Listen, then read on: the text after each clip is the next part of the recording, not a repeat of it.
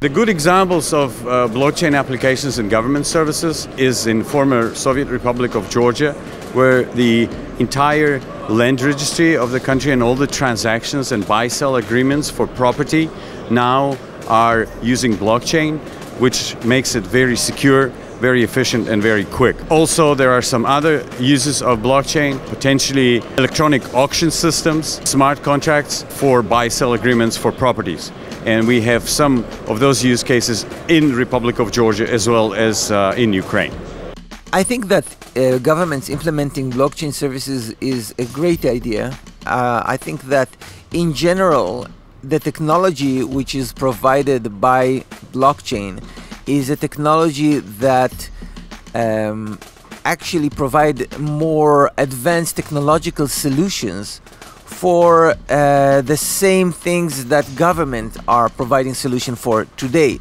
Just like uh, email was providing a solution to mail that was provided by governments, and even uh, YouTube in many cases provided a solution for television that was provided by governments.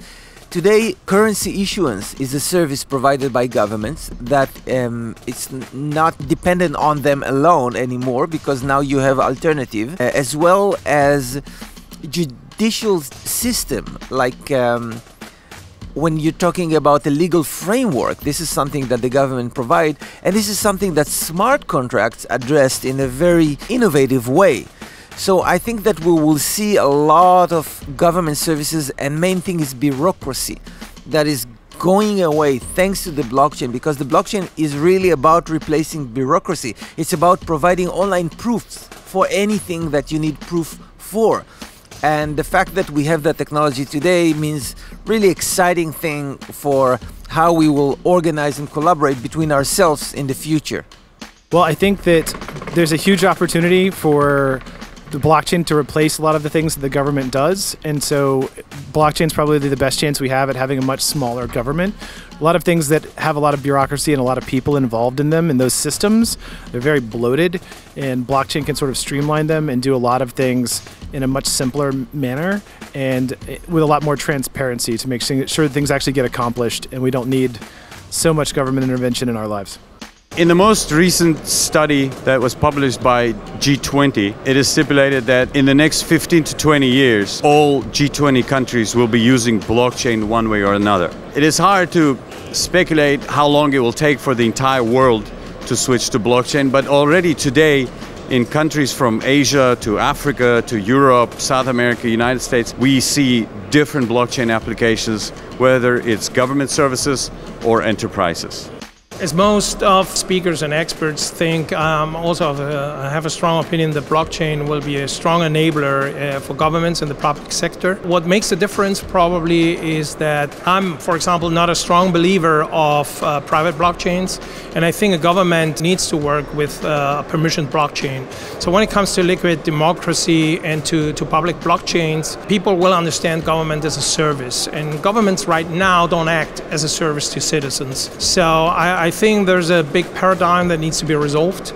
But in my opinion, people will place their bet. I mean, that's why I'm in this environment, because I'm a strong believer of public blockchains and tokens, and that people can really interact peer to peer and bypass a lot of intermediaries or regulators, which doesn't necessarily mean that I promote tax fraud or turning back uh, to public uh, system. I'm, I'm, in fact in the business compliance uh, or in the compliance business in crypto.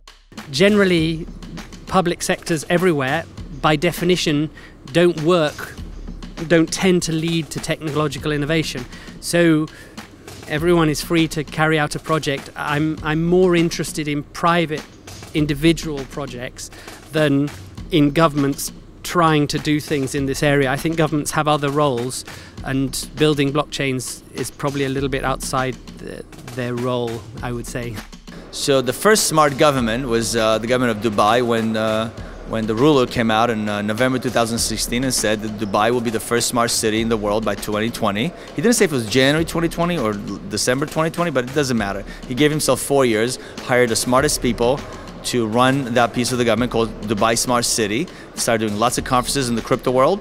and eventually they could become the gold standard of what it is to be a smart city and then everybody else should copy which you know copying somebody else is the greatest form of flattery in the Netherlands, we have many implementations of blockchain in government services. Uh, and you can see many different countries where they are trying. In Dubai, in Singapore, certain industries, especially in the ports, you know, they are doing projects with blockchain.